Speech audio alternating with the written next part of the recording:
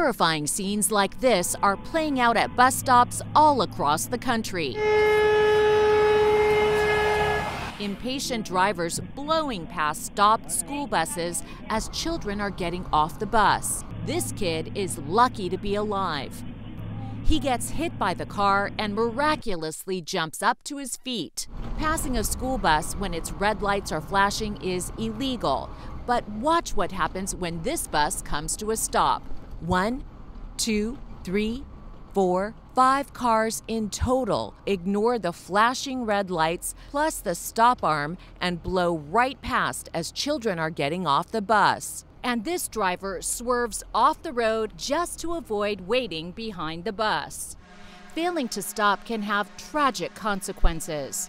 It was the worst, devastating nightmare that any parent should ever have to witness. While trying to cross the street to board the bus, three of Brittany and Shane Ingle's children were struck and killed by a passing pickup truck that ignored the blinking red lights. When you see flashing lights, stop. My daughter was thrown 87 feet from initial impact.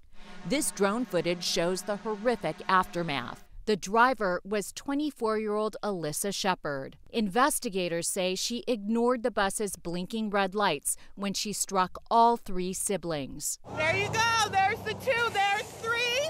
In Pasco County, Florida, the situation is so bad, some parents are filming passing cars on their cell phones, then posting them online. Oh,